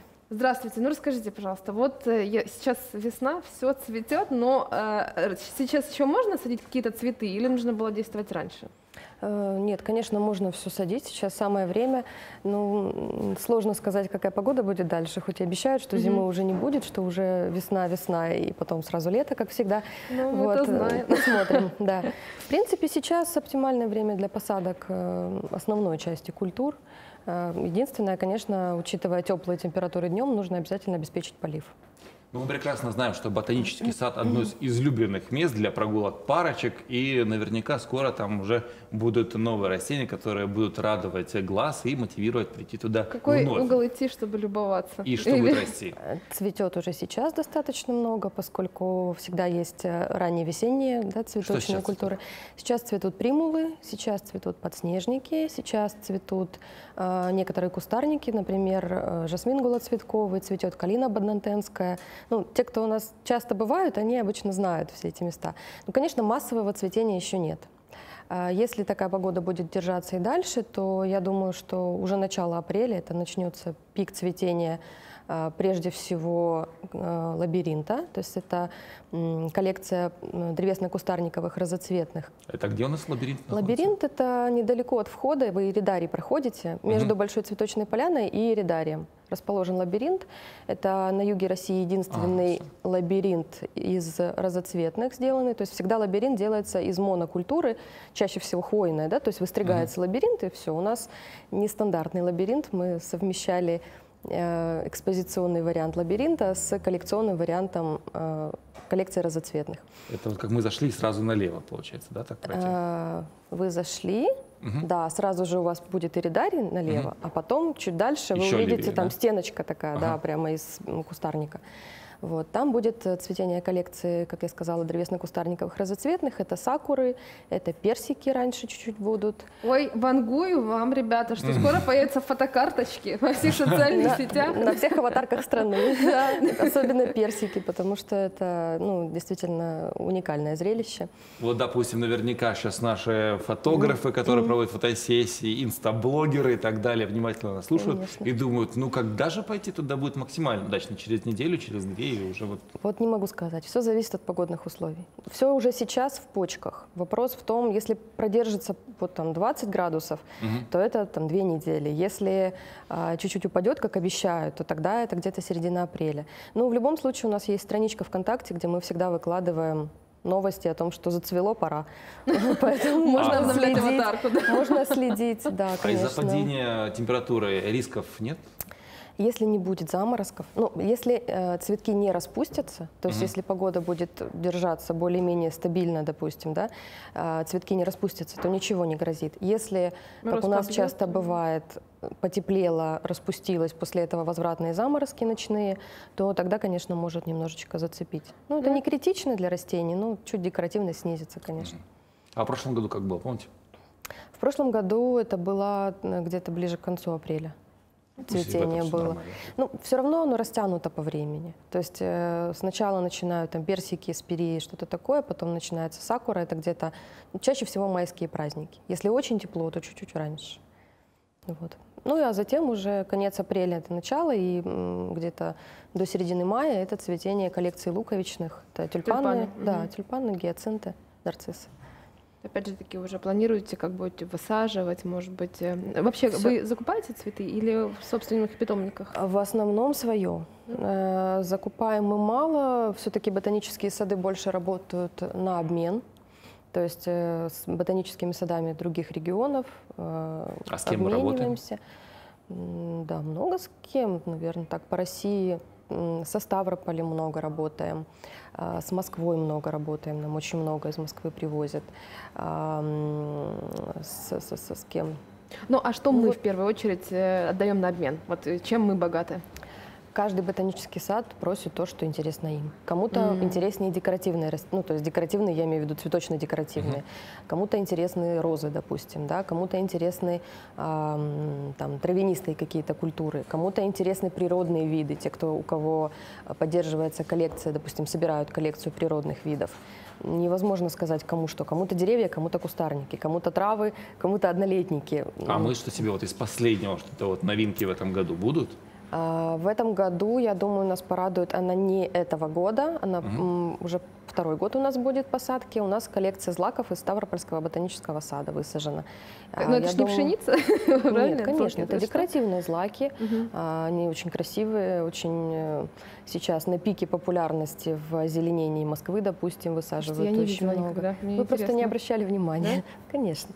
Э, Когда не знаешь, ты часто не обращаешь внимания. Кажется, ну что-то там травка и травка. Ну да. Вот. А, допустим, зарядье, там очень много злаков высаженных, там каждая куртиночка высаженная вручную. А вот, допустим... Это в а, парке, который в Московский, да? Да, парк Зарядье, да, в. Москве. а, Знаю такую вот э, вещь, что приходит человек, да, ему цветы понравились, ему захотелось у себя, допустим, вырастить. Есть ли какая-то возможность обратиться Главное, к чтобы без сотрудникам лопаты сада? приходили. Да. С- Бывает и такое, Чтобы не да? воровали, да. Ну, допустим, есть ли какой-то вот способ, чтобы предотвратить такие У ситуации, э, куда можно обращаться, У чтобы... нас есть питомник, который находится на территории ботанического сада. Э, Есть расчетный счет, на который переводятся деньги, то есть оплачивается все через банкинг, в принципе, на месте. Всегда можно прийти, посмотреть, что есть, выбрать. С Но дело в том, проблем что нет. помимо того, что вредят, когда э, с лопатами приходят, ну, дело в том, что и э, в силу там природных каких-то обстоятельств это растение может не пережиться. И в итоге и там выкопали, и у себя... Конечно, да. А очень часто так бывает, потому что люди ведь не задумываются часто о том, что растение росло, допустим, три года, и при копке, вот у нас как-то было, они порвали всю корневую систему. То есть, ну, вероятность того, что она приживется, немного. То есть и нам сделали плохо, и, в общем, себе не слишком хорошо. Поэтому мы сейчас обращаемся к нашим драгоценным зрителям и просим, если вы хотите сделать подарок своей возлюбленной, не вырывайте цветы в ботаническом саду и не надо их срезать. Просто обратитесь в специализированный магазин, и там вам Либо точно... питомник, да. да. Или питомник, и профессионалы вам помогут. Об этом наш и следующий материал. Творчество в объеме – это возможно благодаря скульптурной живописи. Новое направление в искусстве, которое берет начало от барельефов, появилось в России и распространяется по миру. Работы могут быть в виде панно или украшать элементы интерьера, рамки, часы, зеркала. Выглядит впечатляюще, а научиться может любой, даже без художественного опыта. Главное – желание. А поможет нам уже специалист в этом деле. Юлия, но эти цветы, они с виду такие довольно хрупкие и даже вкусные, потому что они похожи на масляные украшения для торта, но я вот так чувствую, что они такие довольно прочные. Расскажите, вот в чем секрет? Они сделаны из э, строительного материала, декоративная штукатурка. Как вы думаете, у нас получится с вами такое сделать? Обязательно. Давайте попробуем. Для лепки нужен мастихин – инструмент для живописи. Им набирают материал и придают ему форму. Мы создаем маки. Мы с горки набираем декоративную штукатурку, делаем основу, и из нее уже получится лепесточек для цветочка. Итак, один за другим. Строгих правил нет. Располагать лепестки можно на свое усмотрение. Попробуем и сами. Вот, я думаю, этого листочка будет достаточно, чтобы его положить потихонечку. Это очень волнительно. У нас получилось? Ну, у нас получилось. Не можно очень сказать, хорошо, да? да, не, не идеально. Но для первого раза это нормально, просто нужно набить руку. Вот так, да? Еще чуть-чуть. Вот так, да. Вот так? У вас все получится. Правильно? Да. Отсюда вот сюда у нас. Вот так? Ближе. Теперь лучше буквально полчаса, и мы завершаем панно. Ой. Ну все, вот такой последний штрих. И все готово, результат превзошел ожидания, а процесс затянул с головой. Екатерина Серегина и Влад Мошек. Утро нового дня. Пусть ваше утро благоухает как цветы, и, конечно же, ваш день будет комфортным, как наша студия. А за нашу студию мы благодарим а, ООО «Форманта», которая входит в холдинг Greenwood Group. Спасибо большое, что мы можем работать в этой студии благодаря вашей поддержке. Ну а тем временем а, расскажем вам пока о познакомимся с синаптической ситуацией на полуострове. Прогноз погоды по Симферополю. Ясно, без осадков, ветер юго-восточный 5 метров в секунду. Температура воздуха ночью плюс 13, днем до плюс 20 градусов тепла вы сможете увидеть а, в Севаст- на своих термометрах, конечно. В Севастополе. Ясно, осадки не ожидаются. Ветер юго-восточный. 8 метров в секунду. Температура воздуха ночью плюс 15, днем а, на столбиках термометров будет плюс 20 градусов тепла. Прогноз погоды по ЮБК ясно, без осадков, ветер восточно, северо-восточный. 6 метров в секунду, температура воздуха ночью плюс 12, днем плюс 16. Прогноз погоды по Феодосии облачно, осадки не ожидаются, ветер юго-восточный 3 метра в секунду, температура воздуха ночью плюс 9, днем плюс 15.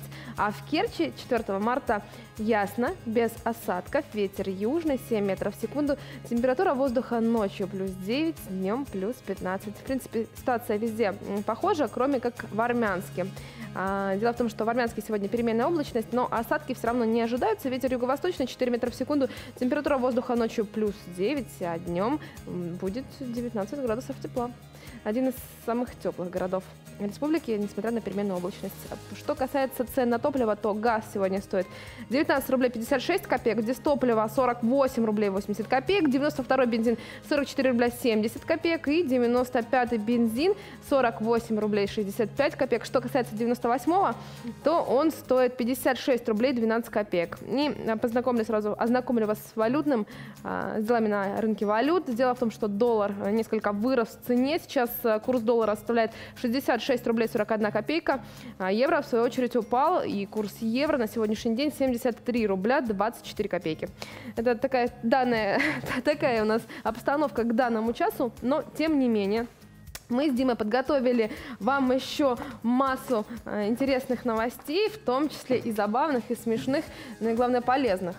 Ну а у нас сейчас как раз таки есть время поговорить о живом термометре, который ходит э, по улицам мне города и кажется- пока не готов с нами почему-то связаться, но, Ну, может знаешь, быть, потому что ты назвал Татьяну Балыкину живым термометром? но а? она типа вышла такая, говорит, ощущаю градусов 30, ну пока не 30, конечно, Ну но куда? как Нет, бы... сейчас ориентировочно, ну, вот как мы говорили, 15 Слушай, давай сыграем с тобой в одну игру. Я как раз приготовил, ну как игру. Э, Я О, все же вернулся наш живой термометр, готов э, поведать, э, ощутил ли он какая температура и о новостях э, полуострова, а точнее столицы. В общем, Танюша, я надеюсь, ты с нами рядом. Уже как оно на улице, поведай нам.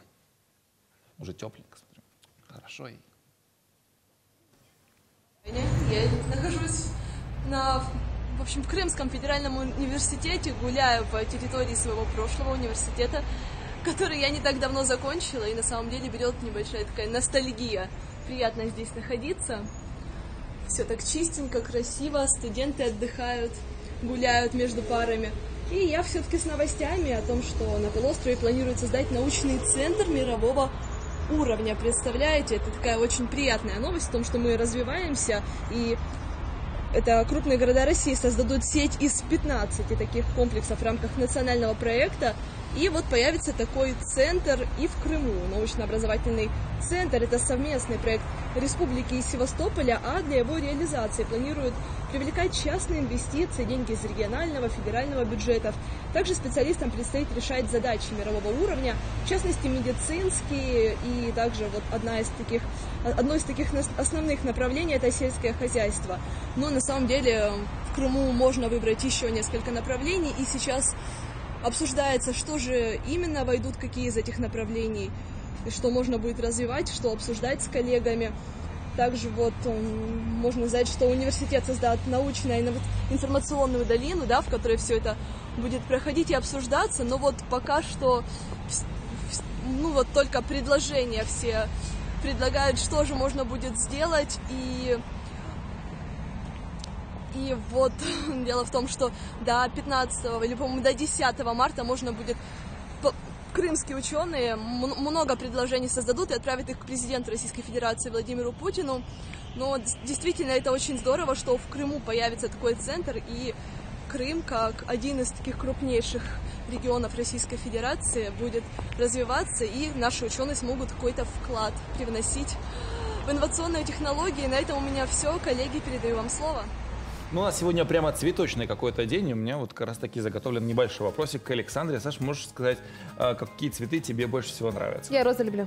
Розы, вот. Да. И немножко вот э, минутки психологии. Розы нравятся самодостаточным, уверенным и уверенным в собственных силах людям. Эти личности умеют любить себя и других. Яркие индивидуальности, страстные, вольные и незаурядные. В общем, страстная Александра. А вот, допустим, если вы любите полевые цветы, то у вас нет пафоса. Если вы любите тюльпаны, то вы личность, э, так сказать, довольно гордая, оптимистичная и добродушная. Ну, вот такая вот большая заготовочка. А сейчас мы готовы поведать для тех людей материал, кто любит отдыхать в Ялте, куда там можно направиться и открыть для себя что-то тоже новое. Но дело в том, что А нас, второе подожди. место Да, что? да, да, точно. на европейском а, конкурсе заслуга ялтинских танцоров. И об этом мы уже можем поговорить с Викторией Шевченко. Она на прямой связи со студией. Вик, доброе утро. И как удалось нашим соотечественникам стать одними из лучших на мировом спортивном поприще? Доброе утро, Александр, Дми- Александра, Дмитрий. О победах наших ялтинских спортсменов мы сегодня поговорим с тренером спортивной школы номер 6 Багаудиновым Альбертом. Альберт Видатович, скажите, пожалуйста, что это был за конкурс, где он проходил, значимость этого конкурса и значимость победы наших юниоров?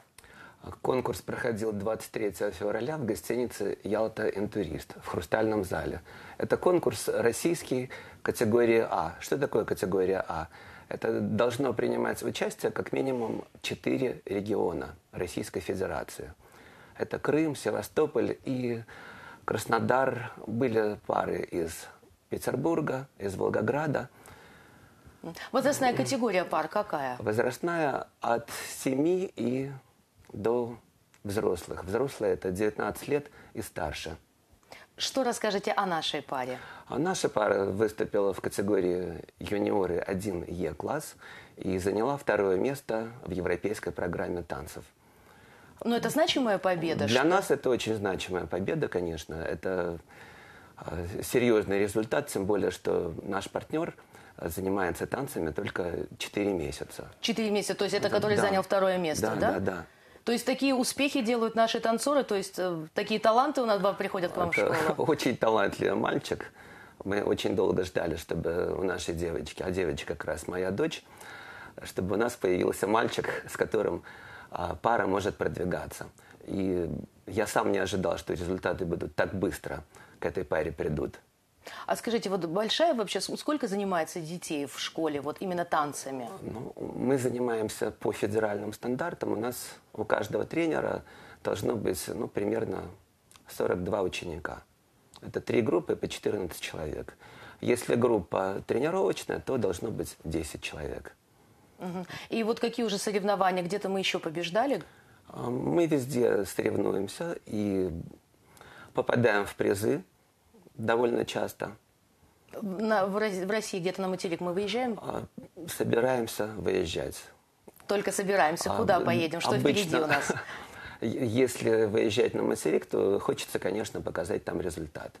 А Раньше у нас на материк выезжал наш ученик Марат, Мгм. он же, опять же, наш сын, в которого, ну...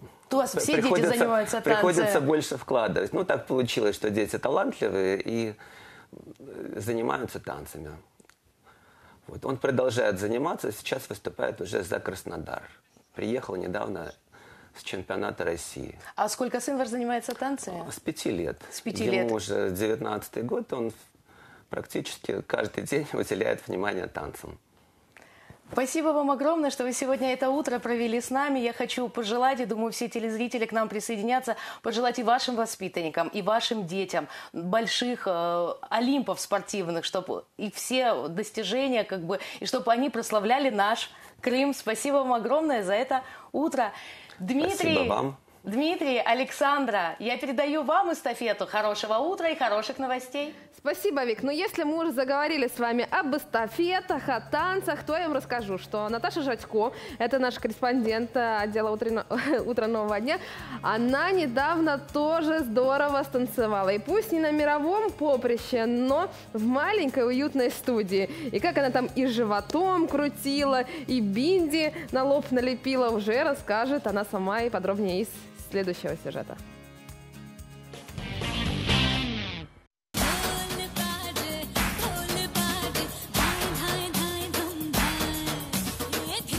В индийских фильмах пляшут все, от эстрадного Болливуда до классического нрита, а еще сакральные танцы. Именно им отдает предпочтение Мария Козлова. Я изучаю классический индийский танец. Это древний храмовый танец, сакральный танец, который передается от учителя к ученику строго по канонам. Здесь все продумано до мелочей, от костюма до смысла. В момент танца артист считается проводником божественной энергии. Сари и украшения защищают его от внешнего негатива. Движения выполняют обязательно босиком, чтобы прочувствовать силу земли. Позиция романди. Мы выносим ногу в правую сторону и открываем хасту. Возвращаемся. Взгляд не забываем, да? Ноги, руки, голова, все отдельно, координация нужна, но не беда. Я думаю, если тысячу раз повторю, да. что-то обязательно получится. Но это не точно. В таких танцах важна не только физическая подготовка, но и знание языка жестов. А еще нужно владеть навыками актерского мастерства, чтобы правильно передать эмоции. Индийский танец – это не просто набор хаотичных движений. В каждом элементе зашифровано целое сообщение. Например, сейчас я хочу сказать, что все просто. Я тебя люблю. Если в стране Зиты и Гиты так повествуют о чьей-то судьбе, то в краях пустыни оазисов исполняют танец живота. Одни из самых популярных стилей – арабский и турецкий. Первый сдержанный, а второй фольклорный. В обоих работают все группы мышц, а значит, это отличный способ поддерживать себя в форме. Отличие от э, других танцев, естественно, в наборе элементов, то есть стилистики самого танца, и в настроении, которое транслирует этот танец. Естественно, в первую очередь, э, настроение нам сообщает музыка, о чем песня, и это уже обыгрывает танцовщица. Один из плюсов – этот вид танца может освоить каждая девушка. Главное – желание и немного практики. Наталья Жадько, Алим Велиев, «Утро нового дня». Восточные сказки, что ты мне строишь глазки. А я чита, чита, прям после этой песни э, и этого клипа хочется танцевать, но мы готовы уже связаться с нашей новостной редакцией. Я думаю, попозже. они пока не танцуют, но, думаю, уже зарядились также Но бодростью притопывают, утренней. мне Да. кажется. Сейчас узнаем Ничаговской. Э, Анечка, притопываешь там ножкой или нет? Признавайся. Да, конечно, операторы просят не двигаться, не притоптывать, чтобы держать камеру центрально. И танцевать я, к сожалению, не могу. Но после эфира, думаю, мы исправим это.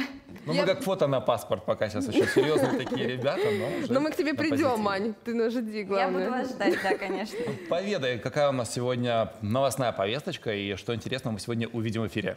Да, коллеги, мы готовим для вас очередной выпуск новостей, в котором расскажем вам о последних приготовлениях к конкурсу на замещение должности главы администрации города Саки. В дневных и вечерних выпусках вы узнаете о том, как проходит итоговая коллегия Министерства культуры. Все это и многое другое расскажем в наших выпусках. Не переключайтесь. Вам желаю такого же хорошего настроения на протяжении всего дня, коллеги. О, спасибо. Спасибо и тебе хорошего настроения. А у нас еще будет Спасибо. как раз таки время поплясать и построить глазки. В общем, Вы заряжу- понимаете, да, что, что с Димой произошло после свадьбы-то? Вот как до сих пор остановиться не может, как вошел в раж. Но тем не менее, мы вернемся к вам уже обязательно завтра, а к данному сейчас мы с вами прощаемся. Очень жаль, вот. наше время подошло к концу. Все, Увы, до новых утро встреч. не может быть вечным, поэтому мы прощаемся с вами. До новых встреч. Пока-пока. До завтра. Пока. Пока. Оп.